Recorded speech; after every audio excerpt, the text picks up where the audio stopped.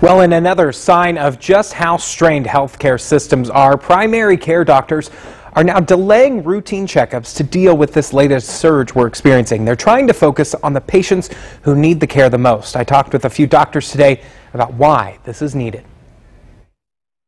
What we want to be able to do is try and decompress our emergency rooms and our med checks, leave those for the sickest of the sick. This week, Community Health is asking its primary care offices to free up more same day appointments so they can take care of the record number of people who are falling ill. If your child doesn't need an immunization or things like that, we may ask you to wait uh, uh, till next month. This pediatric office in Fishers is rescheduling appointments six to eight weeks later. We're going to get everybody taken care of. It's just in the priority. While this isn't just affecting pediatric offices, the system says it's seeing an alarming rise in the amount of children contracting COVID 19, and numbers statewide are backing that up. Cases among kids have gone up considerably uh, with the Omicron variant kind of at play. The Regenstrief Institute says this past December and so far this month, 407 children 17 and under have been hospitalized with COVID 19.